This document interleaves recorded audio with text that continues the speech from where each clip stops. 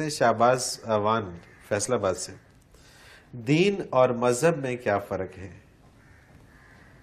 मज़हब जहब यजहब से है। मज़हब बीटन ट्रैक को कहते हैं। चलने वाला रास्ता है। सही। जिस पे आम लोग जा रहे हैं। जैसे बीटन ट्रैक आप कहते हैं। बहुत लोग चलते हैं ठीक है। तो जो भी नज़रिया जिस पे आप ज़िंदगी गुजार रहे हैं वो आपका मज़हब है। मज़हब है जिसके मुताबिक आप ज़िंदगी गुजार रहे हैं। सही। ईमान जो है ये अल्लाह पर ईमान लाना अल्लाह के नबी पर लाना अल्लाह की किताब पर लाना और उसके मुताबिक ज़िंदगी बसर करना ये दीन है। ठीक है। दीन सिर्फ़ एक है। दीन सिर्फ़ एक सिर्फ़ है। एक है। मज़हब बेशुमार है। अच्छा दीन सिर्फ़ एक है। एक है। कि जो हक भी हो सच्चा भी हो और वो इस्लाम है। बाकी मजाहब हैं चलने के रास्ते हैं ज़िंदगी गुजारने के तरीके हैं बेशुमार। आप कहते हैं मजाहब बातला। सही। बातल रास्ते। बिल्कुल ठीक। वो भी मज़हब तो है ना मजाहब तो आप उन्हें कहते हैं ना। खा वो बातिल हैं। बिल्कुल ठीक है। कोई भी अकीदा कोई भी नज़रिया जिस पे कुछ लोग चल रहे हैं वो उनका मज़हब है। वो उनके लिए उनका दीन नहीं है। ना दीन नहीं है। दीन के लिए शर्त है कि वो हक हो।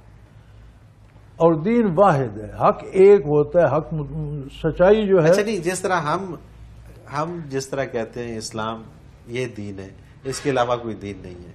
इसी तरह जो क्रिश्चियन है वो ये नहीं कह सकते कि वो कह सकते हैं लेकिन वो सच नहीं होता। सच नहीं होता। कुरान करीम का दावा है इन दीन इस्लाम। अल्लाह के नज़दीक दीन सिर्फ़ इस्लाम। सिर्फ़ इस्लाम है। कुरान पाक ने वाजे कर दिया कर दिया और क्रिश्चियनिटी की जो जब ईसा सलाम थे और हक था मज़हब तो वो भी इस्लाम सही बिल्कुल ठीक। आदम सलाम से लेकर ईसा सलाम तक जितने नबी आए जो उन्होंने बताया वो दीन था। वो दीन था वो इस्लाम वो इस्लाम था। था। बिल्कुल ठीक और आज भी आप देख लें आदम सलाम ने भी अल्लाह की तौहीद का दावत दी ला हर नबी ने ला इलाहा इल्लल्लाह की दावत दी। नूह सलाम ने इस- इब्राहिम सलाम ने इस्माईल सलाम ने ईसा हर नबी के जुमला जो पहला है वो है ला इलाहा इल्लल्लाह। सही। आगे आदम व सफ़ील्ला नूह नजील्ला इस इब्राहिम व खलील्ला इस्माईल व ज़बील्ला ईसा रूहुल्ला मूसा कलीमुल्ला ये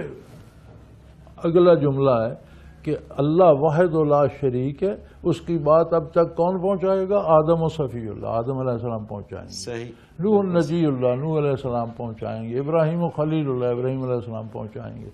तो वो जो बात पहुंचाएँगे वो ला इलाहा इल्लल्लाह की होगी। और तो वो हज़रत इस- वो इस्लाम है। और वो इस्लाम है। बिल्कुल हर म- नबी का दीन जो उसके जमाने में रहा वो इस्लाम है।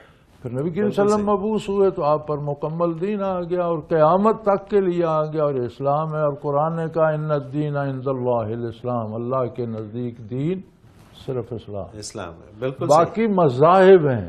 बाकी सारे मजाहब हैं वो जहाबा चलना चला गया। यजहब जहब यजहब जहबन। जिस जिस रास्ते पे वो जिस चल पे चल रहा है उसे आप मज़हब कह सकते तो मज़हब बेशुमार है दीन सिर्फ़ एक